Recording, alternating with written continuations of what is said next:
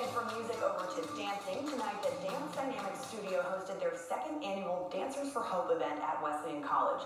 Director Melanie Emory says 10 years ago their studio owner passed away from pancreatic cancer and they wanted to do something to bring dancers together and raise money for a good cause. Performers from over a dozen dance studios from across central Georgia took the stage tonight for a two-hour-long event. Proceeds all went towards Jay's Hope, which is an organization that raises money for childhood cancer. I tell students that you should cherish every opportunity and every moment that you get on stage and you're always dancing, not only for yourself, but someone else in the audience. So just for us to give back. Last year, the event raised more than $5,000, and Emory says this year they were on track to surpass that number.